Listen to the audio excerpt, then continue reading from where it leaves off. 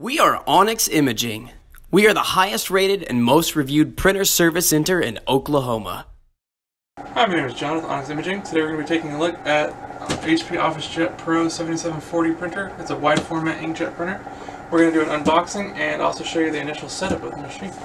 So let's go ahead and get started. I'm actually going to put it down on the ground to get it all unboxed here. Alright, so open up the box.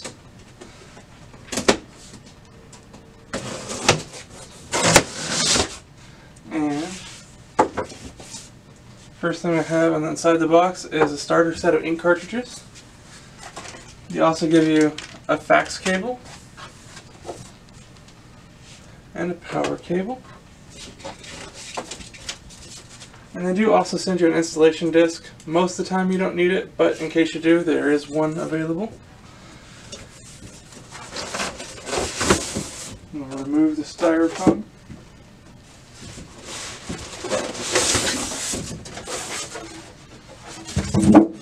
Get the printer out of the box, best way to do it is the bag actually has a set of handles. So you're going to grab the handles and pull straight up out of the box.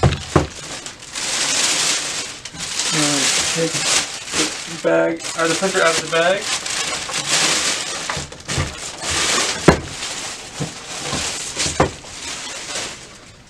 And before we get started, the blue tape that's on the machine, in order to, to kind of keep it safe during shipping, we're going to have to take off a good chunk of that just to make sure that we can actually do everything we need to as far as the original, or the beginning setup of the machine.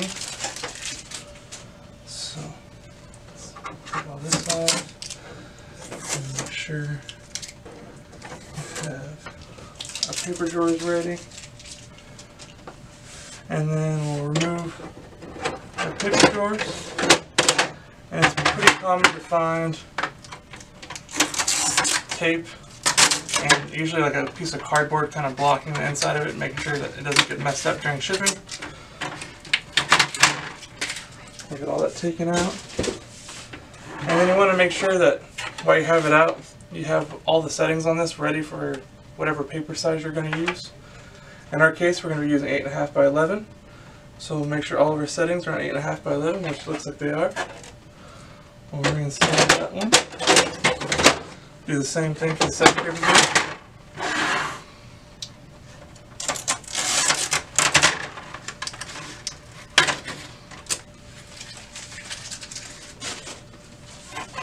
And again, make sure all your settings are set for 8.5 by 11 or again for whatever paper size you're using in that particular tray. We'll reinstall that. Now we're going to go and get her plugged in. So onto our power cord here.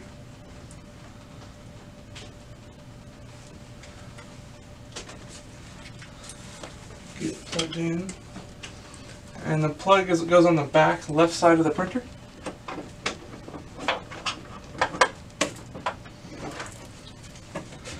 And then it'll take a second for us to let it power on. There it goes. And we'll let it start up. And for the most part, we're basically going to follow the on-screen instructions.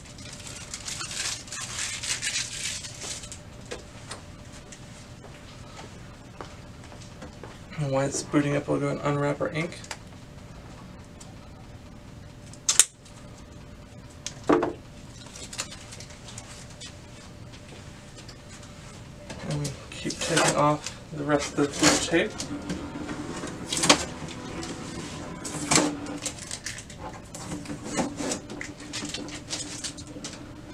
And if you lift the top, there'll also be a protective liner for your scanner. Can go ahead and remove that now as well.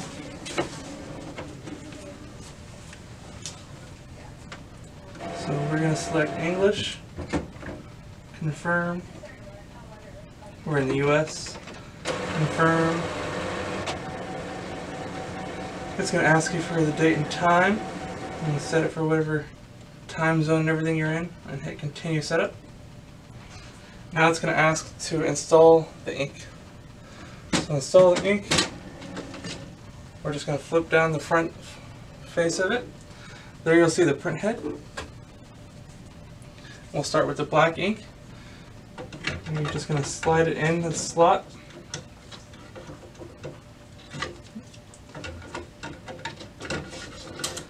And make sure it clicks into place. And each individual color is actually color coded, so it's hard to put the cartridges in the wrong spot. So it goes yellow, magenta, and cyan.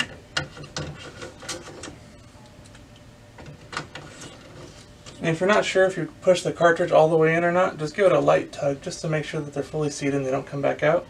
Once they're all installed, we're going to close that front cover. Set these aside for now.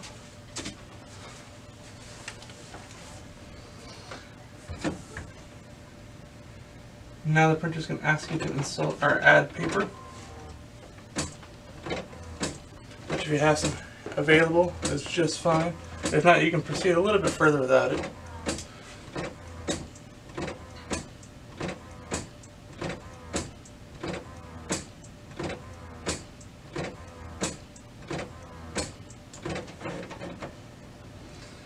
We're just going to follow the on-screen instructions and sometimes with ink machines it takes them a second to kind of get going. It's got to pull all the ink through the machine and kind of get set up and ready.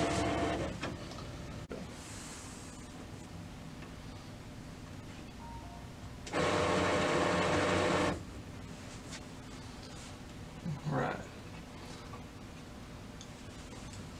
So it's going to ask if you want to do your alignment. Like I said, because I don't have any paper in it right now, we can do follow that step later.